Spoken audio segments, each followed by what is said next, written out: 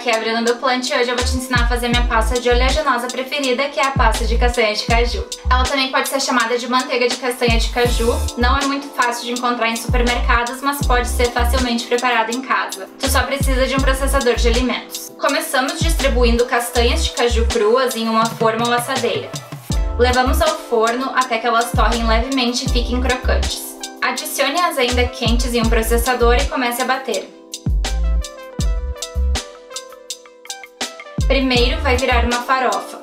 Com uma espátula, raspe as laterais do processador e continue batendo. Repita esse processo quantas vezes for necessário.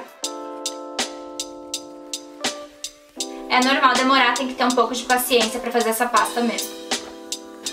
Mas dá certo, é só repetir o processo até virar uma pasta com a consistência da tua preferência.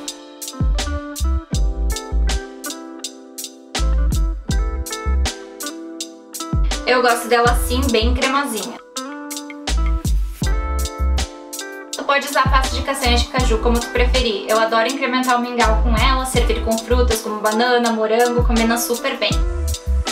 Também é ótima para passar no pão, colocar nas vitaminas, mas principalmente para pegar uma colher e comer ela assim, purinha mesmo. Ela é muito saborosa, juro. Espero que tu tenha gostado da receita e se sim, dê um joinha aqui, não se esqueça de se inscrever no canal e clicar no sininho para ativar as notificações. Um abraço e até o próximo vídeo.